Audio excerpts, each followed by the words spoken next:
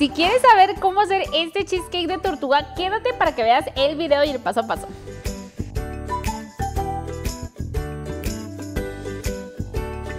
Hola chicos, espero estén súper bien. Oigan, pues ahora sí vamos a hacer una receta que la verdad yo traía mucho, mucho antojo que ya antes habíamos hecho en una transmisión de Facebook. Que recuerden que nuestras transmisiones son los martes a las 4 de la tarde, es en vivo, entonces está padrísimo, por ahí los veo también.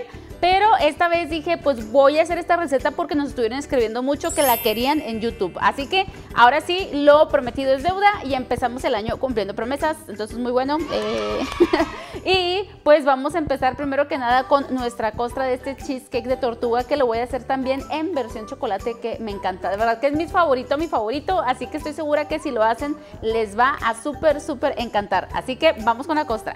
Pues primero que nada vamos a agregar nuestros 350 gramos de galleta Oreo molida, o sea, estas galletas, si no tienen Oreo, pues puede ser alguna otra galletita de color así como oscura, pero sin el relleno. Y vamos a poner 75 gramos también de mantequilla derretida. Antes de agregar esto, voy a agregar también, ya se me estaba olvidando, dos cucharadas de azúcar refinada, morena, o sea, ahora sí que cualquier azúcar.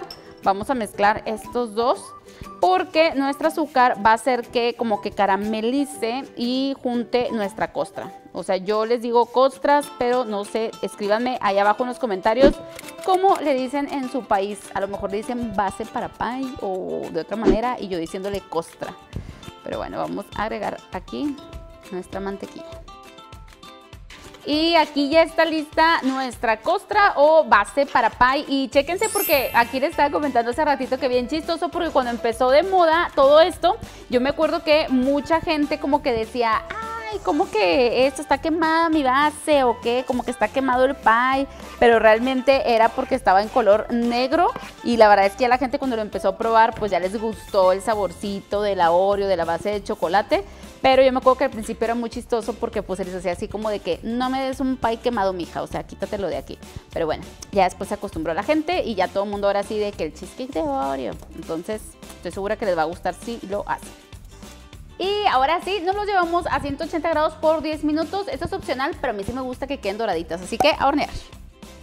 Ahora sí vamos a la parte del relleno del cheesecake y bueno, para esto vamos a necesitar 500 gramos de queso crema. Este lo suavizo un poquito en el micro unos 20 segundos. La verdad es que sí, está, esto hace como que el queso crema la cantidad que quede más cremosito. Entonces sí pónganle los 500 gramos de queso crema.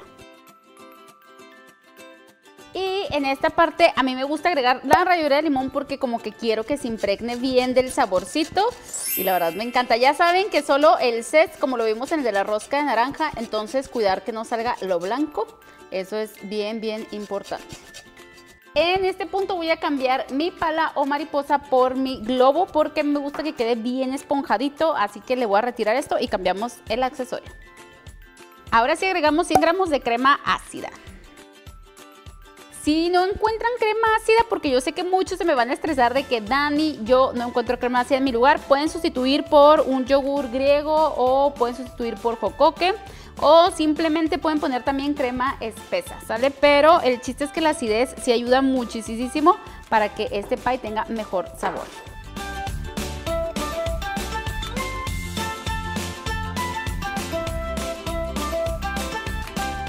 Y bien importante, vamos añadiendo uno, uno de los huevos, siempre hay que checar que el huevo esté bien, que no esté echado a perder ni nada. Y ahora sí, ya está ahí. Y vamos a batirlo.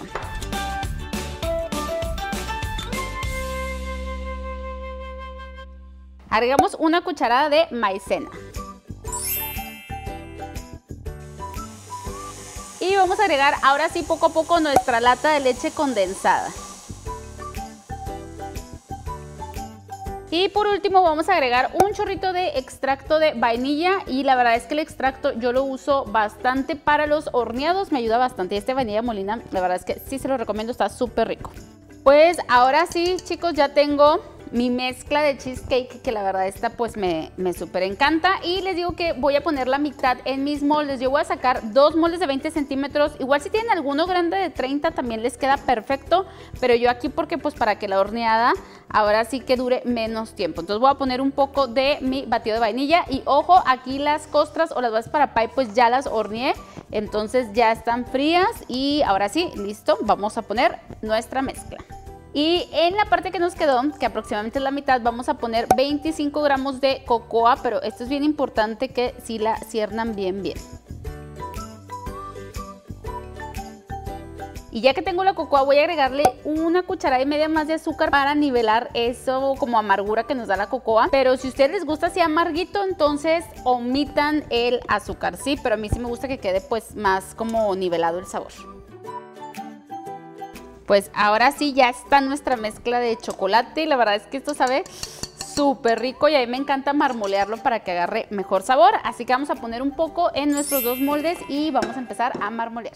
Y para marmolearlo vamos a hacerlo de esta manera como que hacemos un zigzag o una S de sol para que se vea bien bonito combinado.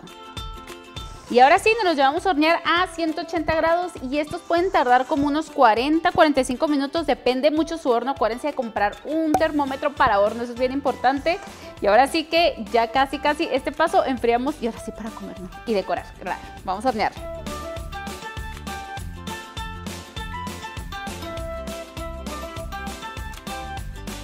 Y ya voy a checar nuestro cheesecake. Oigan, vean, la verdad es que nunca esperen a que se seque al 100 porque luego pasa que quieren que se reseque y no, miren, ahí está. Está suavecito. Yo a veces lo checo así como con la mano y ya, ya se siente fluffy. Ay, se siente bonito. Este recibió más calor y por eso se craqueló un poquito. Pero este, si se fijan, ahí va muy bonito. Pero como quiera ya los voy a sacar. Tiende a bajar un poco, no se asusten, es normal por el aire que saca. Y ahí los voy a dejar enfriar como 4 horas. Y si pueden refrigerarlos, mejor para pasar a decorar. De este lado vamos a empezar con la ganache para nuestro postre delicioso de cheesecake tortuga. Y para esto es súper fácil. Ponemos 100 gramos de chocolate, aquí yo combiné lácteo y semi amargo con una taza de crema chantilly o lo que vienen siendo 200 mililitros. Y me lo llevo al microondas por un minuto. Terminamos de mezclar después del microondas. Mientras dejamos reposar nuestra ganache, vamos a agregarle un poquito de la crema para que se suavice nuestro dulce de leche o nuestro manjar y lo llevamos nada más 15 segunditos al microondas. Y mezclamos. Y ahora sí vamos a abrir nuestros moldes y este tipo de molde desmoldable o springform nada más es de abrir y siempre le paso como una espatulita por los lados, o sea por todo para que se despegue fácil. Y ya que está ahí, ahora sí, lo vamos a pasar a decorar. Y mientras decoro, chicos, vean la costra súper bonita. hasta lo puedo levantar súper fácil. Ahí está. Voy a pasarles los saludos, que de verdad, chicos, muchísimas gracias por todas las creaciones que están haciendo. Así que vamos a ver quién hizo esta semana. Muchísimas gracias a todas las que hicieron los pasteles del 2021, de verdad que les quedaron padricísimos. A Mayra Samantha, Ale Echavarría e Irma Rodríguez, de verdad que les quedaron padrísimos y pongo ganache y luego después dulce de leche, ponemos nueve chispas y vuelvo a repetir el paso. Nuestro siguiente saludo para Mónica Pineda que hizo las galletas. Mónica, una súper, súper felicitación porque lograste el cometido. Y también a Marcela Castro que le quedó súper padre su pinito de Navidad.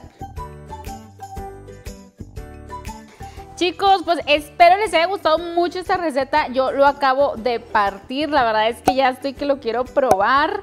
Y de verdad que pónganme en los comentarios a ver qué tal, cuál prefieren. Si la versión como más moderna, más colorida o esta versión tradicional. Como de qué, qué equipos son. Y pues vamos a probarlo se me está haciendo agua la boca. ¡Qué rico! Y díganme si les gusta esta parte que estamos haciendo también postres y no siempre pasteles. Y pues bueno, vamos a probarlo, chicos. Muchísimos saludos azucarados a todos. Que tengan excelente semana y nos vemos en el próximo video.